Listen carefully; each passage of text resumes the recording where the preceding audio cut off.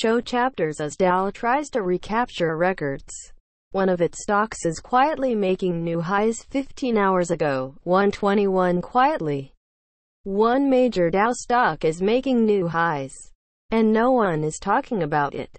After being stuck in a sideways range since early 2013, Verizon is finally breaking out, hitting its highest level in two years this week.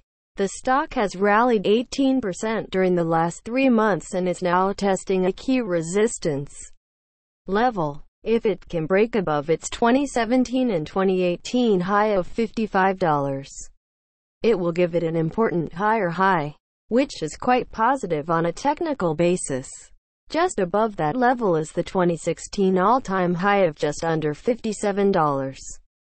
A break above that would give it a lot of upside momentum this year given how strong other defensive sectors have been recently. Utilities Consumer staples and healthcare stocks are leading the market over the last three months.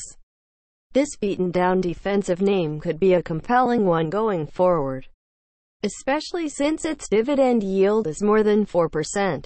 Aside from a strong technical picture, Verizon looks particularly attractive given how poorly high flyers like Facebook, Twitter and Netflix have been acting lately.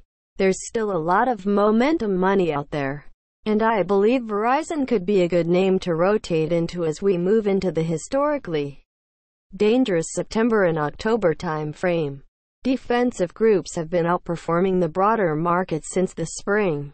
So those who have already been rotating toward a more defensive stance recently have not only been adding protection to their portfolios, but they're also beating the S&P while doing it.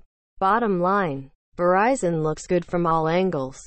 Vote vote to see results total votes. Not a scientific survey. Results may not total 100% due to rounding. Disclaimer